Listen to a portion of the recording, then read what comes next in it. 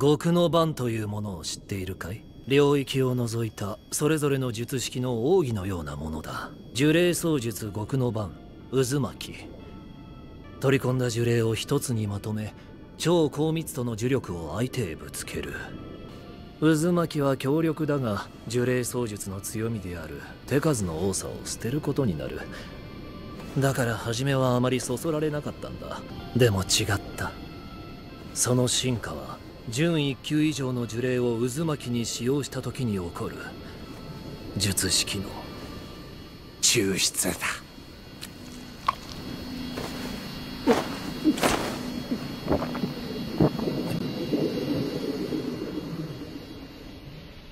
バカだな。刀どころか木刀も竹刀も握ったことないくせに呪術師になることを選んだ。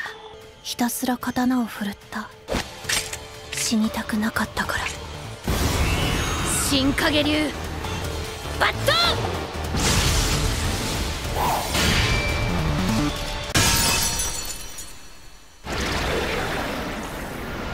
極の番。渦巻き。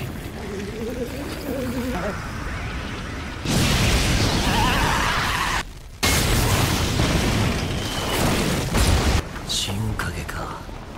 よかったよ坂部さん